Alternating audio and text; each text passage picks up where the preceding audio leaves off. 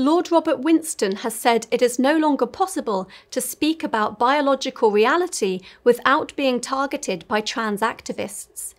During a question time debate, the panel discussed a recent campaign of hate against gender critical academic Professor Kathleen Stock at Sussex University.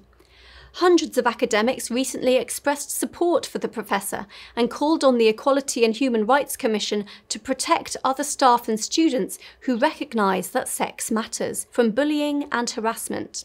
Lord Robert was asked for his views as a former university vice chancellor, but he said he preferred to speak as a biologist. I will say this categorically that you cannot change your sex. Your sex actually is there in every single cell in the body. And we are very confused about this, unfortunately. And, and regrettably, it's got into this argument that people are now will now accuse me of being transphobic. Well, obviously there are trans people who say you absolutely can do that. Well, unfortunately, you can't say this publicly. This is one of this is one of the big problems. Even saying saying this on this program undoubtedly will result in my getting a huge amount of hate mail. It always does. Of course, we should accept people as they are. Overall, I think it's a very sad thing that we can't discuss biological science without actually getting completely caught up emotionally with something which is really completely wrong.